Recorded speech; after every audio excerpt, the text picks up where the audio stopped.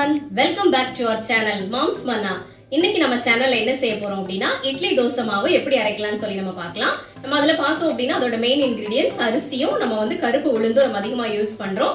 கருப்பு உளுந்து அந்த நம்ம இட்லி தோசை மாவுல யூஸ் பண்ணக்கூடிய உளுந்து வந்து ரொம்பவே உடலுக்கு ஆரோக்கியமானது. அதுல ஹை லெவல் ஆஃப் புரோட்டீன் இருக்கு புரதச்சத்து இருக்கு. அதே மாதிரி விட்டமின் பியும் வந்து அதுல அதிகமா அடங்கி இருக்கு நீங்க அது பாத்தீங்க அப்படின்னா செரிமானத்துக்கு ரொம்பவே ஹெல்ப் பண்ணுது. நர்வஸ் சிஸ்டம்க்கு அது ஹெல்ப் பண்ணுது. ஹார்ட்டுக்கு வந்து அது ரொம்பவே பயனுள்ளதா இருக்கு. இதே மாதிரி நீங்க பெண்கள் அப்படின்னு பார்த்தோம் அப்படின்னா பெண்களுக்கு வந்து இந்த உளுந்து வந்து ரொம்பவே நம்ம அனுதின டயட்ல வந்து சேர்த்துக்கொள்ள வேண்டிய ஒரு முக்கியமான ஒரு பங்கு வச்சிருக்கு இது எஸ்பெஷலி நம்ம கற்ப காலத்துல பாலூற்ற தாய்மார்கள் அப்புறம் நம்மளுடைய வயது முதிர முதிர நம்ம கண்டிப்பா உளுந்து வந்து நம்மளுடைய உடல்ல வந்து நம்ம சேர்த்துக்கணும். ஏன்னா இதுல அதிக அளவு இரும்பு சத்து இருக்கு போலிக் ஆசிட் இருக்கு மெக்னீசியம் கால்சியம் பொட்டாசியம் இது எல்லாமே அதிக அளவு இதுல அடங்கி இருக்கு ஸோ இந்த மாவை வந்து நம்ம வீட்டிலேயே எப்படி தயாரிக்கலாம்னு சொல்லி நம்ம இப்ப பார்க்கலாம். தேவையான பொருட்கள் என்னெல்லாம் பார்த்தீங்க அப்படின்னா அரிசி வந்து இட்லி அரிசி இதை நம்ம இங்கிலீஷில் பார் பாயில்ட் ரைஸ்ன்னு சொல்லுவாங்க. ஒரு மேஜர் சிட்டிஸில் இட்லி அரிசின்னு சொல்லி நீங்கள் கிடைக்கல அப்படின்னா கூட நீங்கள் பார் பாயில்ட் ரைஸ்ன்னு கேட்டிங்க அப்படின்னா கண்டிப்பாக உங்களுக்கு கிடைக்கும். அரிசி வந்து நாலு கப் எடுத்திருக்கிறேன். அதே அதில் அதே கப்பில் ஒரு கப் அளவுக்கு வந்து உளுந்து எடுத்துருக்கிறேன். இந்த உளுந்து தொளி இல்லாத உளுந்து உடைக்காத உளுந்து முழு உளுந்து தொலி எடுத்தது ஒரு கப் எடுத்திருக்கிறேன். ஒரு டீஸ்பூன் வெந்தயம் எடுத்திருக்கிறேன். தேவையான அளவு உப்பு. இதுதான் இது நமக்கு செய்ய தேவையான பொருட்கள். இப்போ வந்து நம்ம இந்த அரிசியும் உளுந்து இந்த வெந்தயம் மூணு இதையும் நம்ம என்ன செய்ய போறோம் அப்படின்னா தண்ணியில நல்லா வாஷ் பண்ணிட்டு ஊற வைக்க போறோம். இப்போ பாருங்க நம்ம எடுத்திருக்கிற அரிசியை வந்து நல்லா கழுவி ஊற வச்சிருக்கிறேன். இது வந்து ஒரு நாலு மணி நேரத்துல இருந்து ஆறு மணி நேரம் நமக்கு அரிசி வந்து ஊறணும். நல்லா இப்படி ஊறிடும் நீங்க அதே டைம்ல நம்ம உளுந்து ஊற வச்சிருக்கிறோம். உளுந்து வந்து நமக்கு ஒரு மணி நேரம் ஊறினாலே போதும். நான் என்ன பண்ணுவேன் அப்படின்னா ரெண்டையுமே ஒரே டைம்ல ஊற போட்டுட்டு உளுந்து வந்து ஒரு மணி நேரம் ஊறின உடனே இதை எடுத்து நீங்க ஃப்ரிட்ஜில் வச்சிருங்க. ஸோ இந்த உளுந்து வந்து இந்த தண்ணி நல்லா சில் ஆயிரும்.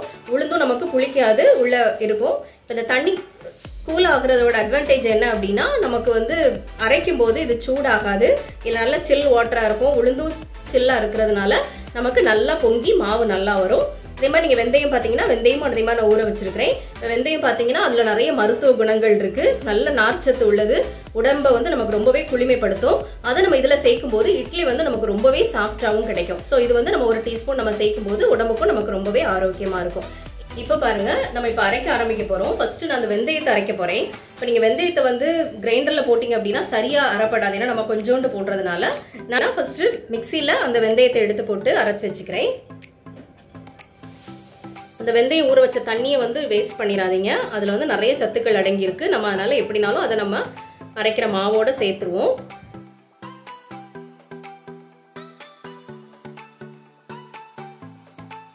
கொஞ்சம் கிரைண்ட் ஆனோடனே அப்படி ஒன்றுக்கு ரெண்டாக நசுங்கு பட்டுரும்.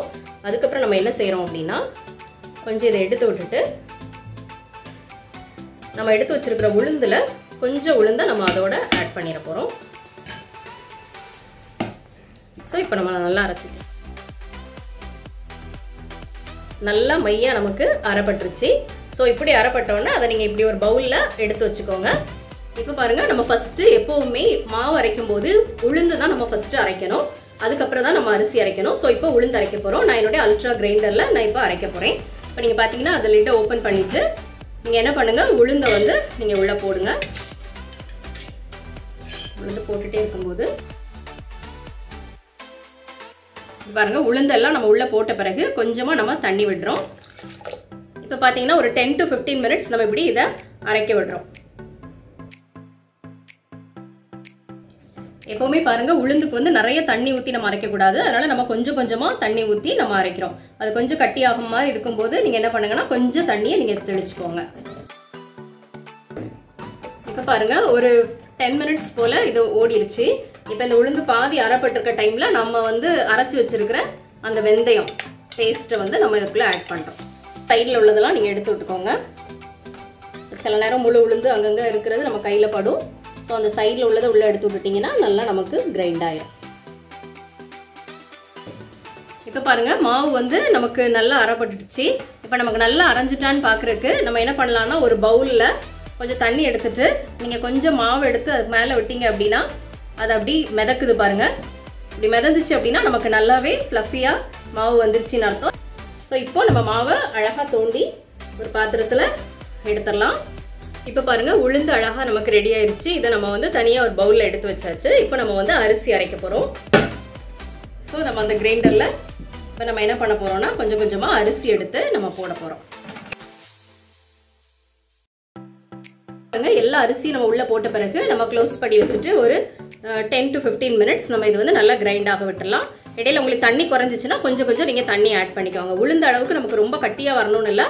இது வந்து நமக்கு கொஞ்சம் வாட்டரியாக தான் அரிசி மாவு வரணும். ஆனால் நம்ம ஃபஸ்ட்டே நிறைய வாட்டர் சேர்த்துட்டோம் அப்படின்னு சொன்னால் என்ன ஆகும்னா அரிசி வந்து நமக்கு சரியாக கிரைண்ட் ஆகாமல் திரு திருன்னு கிடக்கும். ஸோ கொஞ்சம் கொஞ்சமாக நம்ம தண்ணி ஊற்றி அரைக்கலாம். இப்போ பாருங்க ஓரளவுக்கு நல்ல மாவு அரைப்பட்டுருச்சு. ஸோ இந்த டைமில் நம்ம அந்த எடுத்து வச்சிருக்கிற கல் உப்பை வந்து நம்ம அதுக்குள்ளே போடுறோம். போட்டு இன்னொரு ஃபைவ் மினிட்ஸ் நம்ம ஊட விட்டுட்டு தோண்டி எடுத்துடலாம். இப்போ பாருங்கள் நீங்கள் மாவு பாருங்கள் நல்லாவே நமக்கு ரெடி ஆகிடுச்சு இப்படி ஒரு கன்சிஸ்டன்சியில் ரெடி ஆகணும். நான் வந்து இருபது நிமிஷம் நான் வந்து அரைச்சிருக்கிறேன். ஆனால் உங்களோட கிரைண்டரோட இது பொறுத்து டைம் கொஞ்சம் முன்ன பின்ன ஆகலாம். ஆனால் நீங்கள் என்ன பண்ணலாம்னா இப்படி ஒரு கன்சிஸ்டன்சி வர்ற வரைக்கும் நீங்கள் அரைக்கிறீங்க நல்லா. ஸோ இப்போ நான் இப்போ அதை வந்து எடுத்துடலாம்.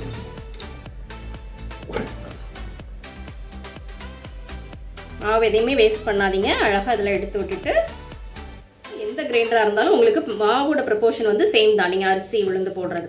இதில் ஒன்றே ஒன்று மட்டும் நீங்கள் நோட்டீஸ் பண்ணிக்கோங்க. சப்போஸ் நீங்கள் உளுந்து வந்து ரேஷனில் வாங்குற உளுந்து போட்டிங்கன்னா மட்டும் உங்களுக்கு ப்ரப்போர்ஷன் வந்து கொஞ்சம் மாறும். அப்படி இருந்துச்சுன்னா நீங்கள் மூணு கப் அரிசிக்கு ஒரு கப் உளுந்து போடுங்க. உங்களுக்கு கரெக்டாக இருக்கும். பாருங்கள் அரைச்ச மாவை அரிசி மாவை நம்ம அப்படியே இன்னொரு பவுலில் ஊற்றிக்கலாம் இந்த அரிசி மாவை ஊற்றின பிறகு நம்ம ஆல்ரெடி அரைச்சி வச்சிருக்கிற உளுந்த மாவையும் நம்ம அதோட மிக்ஸ் பண்ணுறோம் பாருங்க உளுந்த மாவு. அழகாக அதில் மிதக்குது பாருங்க. ஸோ நம்ம அந்த எடுத்து வச்சிருக்கிற பவுலில் உள்ள எல்லா மாவையும் நல்லா மிக்ஸ் பண்ணுறோம் கரண்டி வச்சு ஒரு நாளும் மாவை கலக்காதீங்க. எப்போவுமே நம்ம கையால் தான் நம்ம கல கலக்கணும். நீங்கள் கரண்டி வச்சு கலக்குனீங்கன்னா உங்களுக்கு வந்து புளிச்சு ஃபர்மெண்ட் ஆகவே செய்யாது. ரொம்ப டைம் எடுக்கும். நீங்கள் பவுடர் உப்பு போடுறீங்க அப்படின்னா இந்த டைமில் நம்ம மாவு கலக்கும் போது நீங்கள் போட்டால் போதும். எப்போவுமே அயோடைஸ்டு சால்ட் ரொம்ப போடாதீங்க. போட்டிங்க அப்படின்னா உங்களுக்கு ஃபர்மெண்டேஷன் ரொம்பவே லேட் ஆகும். பாருங்கள் அரிசியும் உளுந்து மாவும் நல்லா மிக்ஸ் ஆகிடுச்சு ஸோ இந்த டைமில் நம்ம ரெண்டு பவுல்லையாக நம்ம இதை ட்ரான்ஸ்ஃபர் பண்ண போகிறோம் எதனால் அப்படின்னா இப்போ நமக்கு இதில் ஃபுல்லாக மாவு இருக்குது இது அப்படியே வச்சுட்டோம்னா இது ஃபர்மெண்ட் ஆகும்போது நமக்கு கூட ஒரு மடங்கு கூடும். ஸோ அப்போ என்ன ஆகும்னா ஃபுல்லாகவே பொங்கி நமக்கு வெளியே வந்துடும் அதனால அரை அரை பவுலாக ரெண்டு பவுலில் நம்ம இதை ட்ரான்ஸ்ஃபர் பண்ணி வைக்க போகிறோம் இப்போ வீட்டில் வந்து நமக்கு கெஸ்ட் இல்லை. நம்ம ஃபேமிலிக்கு மட்டும்தான் மாவு அரைக்கும் அப்படின்னா எப்போவுமே எல்லா மாவையும் மொத்தமாக புளிக்க வைக்காதீங்க. ரெண்டு பவுலில் மாற்றிட்டு ஒரு பவுலில் புளிக்க வைங்க. இன்னொரு பவுலை அரைச்சி நம்ம கலக்குனதோட ஃப்ரிட்ஜில் வச்சுருங்க. ஸோ அந்த மாவு நமக்கு காலி ஆகிறதுக்கு முந்தின நாள் நம்ம எடுத்து இதை புளிக்க வச்சுக்கலாம். ஸோ இப்போ நான் இப்படி ஒரு பவுலில் ஹாஃப் ஃபில் பண்ணுறேன் ஸோ இது நமக்கு தாராளம் போதும். மீதியை வந்து அடுத்த பவுலில் நம்ம வச்சுக்கலாம். ஏன்னா இது வந்து நமக்கு நல்லா ஃபர்மெண்ட் ஆகி மேலே வரைக்கும். இல்லை நான் ஹாஃப் மாவு ஃபில் பண்ணியிருக்கேன். மீதி மாவை நான் ஃப்ரிட்ஜில் வச்சுட்டேன். இதை வந்து நான் வெளியே புளிக்க வைக்க போகிறேன் ஒரு எயிட் ஹவர்ஸ் இது வெளியே இருக்கும். நீங்கள் அப்பப்போ பார்த்துக்கோங்க. சப்போஸ் நீங்கள் ஓவர் நைட் விடுறீங்கன்னா ஒரு பெரிய பிளேட் வச்சு பிளேட்டுக்கு மேலே நீங்கள் இதை வச்சுட்டீங்க அப்படின்னா பொங்கி விழிஞ்சா கூட நமக்கு பிளேட்டில் இருந்துவிடும் ஸோ நம்ம இதை வந்து அப்படியே புளிக்க வைப்போம். இது வந்து நமக்கு நல்லா உயர்ந்து வந்த பிறகு நம்ம வந்து இட்லி தோசை சுடலாம். மாவு அரைச்சு ஒரு பத்து மணி நேரம் நம்ம கலக்கி அதை வெளியே வச்சிருந்தோம். இப்போ நல்லா நமக்கு வந்து பெர்மெண்ட் ஆகி எவ்வளோ கூடி இருக்குன்னு நீங்கள் பார்க்குறீங்க இப்போ வந்து நமக்கு இட்லி செய்யறதுக்கும் தோசை செய்யறதுக்கும் நமக்கு ரெடியாக இருக்குது இப்போ மாவு நமக்கு பர்ஃபெக்டாக ரெடி ஆயிடுச்சு. இதே நம்ம கடையில் வாங்கணும் அப்படின்னா அதில் கண்டிப்பாக கொஞ்சமாவது ப்ரிசர்வேட்டிவ் சேர்ப்பாங்க பலர் கைப்படும். எந்த அளவுக்கு சுத்தமாக இருக்கும் நமக்கு எதுவுமே தெரியாது. இது வந்து நம்ம வீட்டிலேயே நம்மளே பக்குவமாக நம்ம அரைச்சு எடுத்துருக்குறோம். ஸோ இதில் நீங்கள் இட்லி தோசை சுட்டு பாருங்க. ரொம்பவே அருமையாக வரும். எங்களுடைய மாம்ஸ் மன்னா சேனலை இது வரைக்கும் நீங்க சப்ஸ்கிரைப் பண்ணலனா கீழ இருக்கிற சப்ஸ்கிரைப் பட்டனையும் பெல் பட்டனையும் கிளிக் பண்ணுங்க. உங்க ஃப்ரெண்ட்ஸுக்கும் ஷேர் பண்ணுங்க. அடுத்த வீடியோல உங்களை சந்திக்கும் வரை உங்களிடமிருந்து விடைபெறுவது கோல்ட் ஆல்வின் பை ஃப்ரெண்ட்ஸ்